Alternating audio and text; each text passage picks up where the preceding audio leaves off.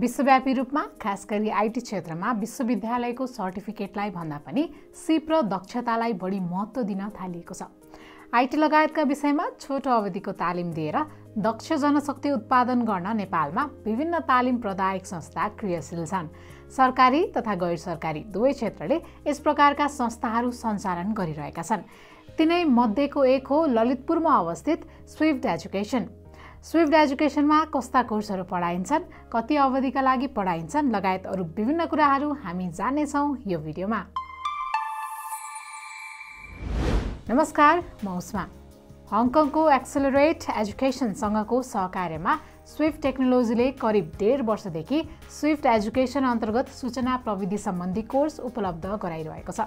यहाँ पढ्ने विद्यार्थीले हङकङको पाठ्यक्रम र प्रमाणपत्र पाउने कम्पनीको दावी छ। Swift education ready to job boot camp भएको कम्पनीको धारणा छ। यहाँ कोर्स भने हाइब्रिड मोडल मार्फत पढाइ हुन्छ अर्थात् आधा कोर्स भौतिक रूपमा र आधा अनलाइन मार्फत पढाइन्छ। स्विफ्ट एजुकेसनले उपलब्ध गराउने कोर्स विश्वविद्यालयको कोर्सभन्दा पूर्ण रूपमा फरक छ। स्विफ्ट एजुकेसनले प्राविधिक सिप बाहेक व्यक्तिगत विवरण सिभी बनाउने अन्तर्वार्ता दिने नेटवर्क कसरी बढाउने लगायतका कुराहरू पनि सिकाउँछ।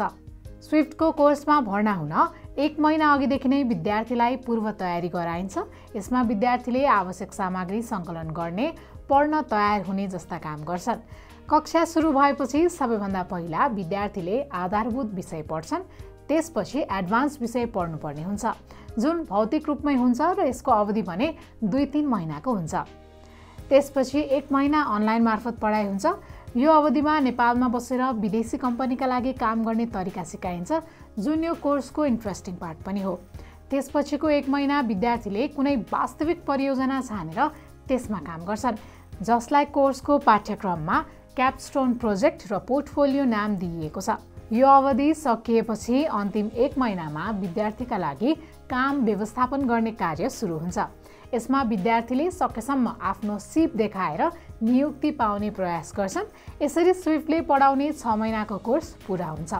हालसालै कम्पनीले सिपको आधारमा काममा लगाइदिने कार्यक्रम आयोजना पनि गरेको थियो। अब लागौँ यहाँ पढाइ हुने कोर्सतर्फ। अहिले Swift एजुकेसनमा full stack software engineering graphics design entrepreneurship data science skills with practical mentorship र online master class in financial accounting and reporting गरी जम्मा पाँचवटा कोर्स पढाइ हुन्छ। सफ्टवेयर इन्जिनियरिङको तिन लाख डेटा साइन्सको चार लाख ग्राफिक्स डिजाइनिङको दुई लाख अन्टरप्रेनरसिपको एक लाख रुपियाँ शुल्क राखिएको छ। विद्यार्थीले आफू अनुकूलको समयमा यो शुल्क तिर्न सक्छन्। उता हङकङको इन्स्टिट्युटले प्रोजेक्ट करिकुलम सर्टिफिकेट जस्ता कुरामा सपोर्ट दिइरहेको तर पढाउने काम भने डेभलपरहरूले नेपालबाट नै गरिरहेको कम्पनी बताउँछ।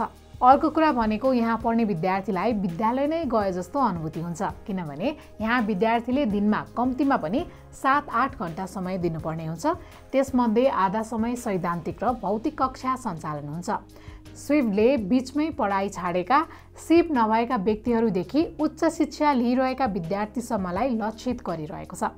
यो कोर्स पढ्न विद्यार्थीलाई कुनै न्यूनतम योग्यता तोकिएको छैन तर विद्यार्थीहरूले आफूले चाहेको समयमा भने यसमा भर्ना हुन पाउँदैनन् किनभने स्विफ्ट एजुकेसनका कोर्समा भर्ना निश्चित समयमा मात्र खुल्छ।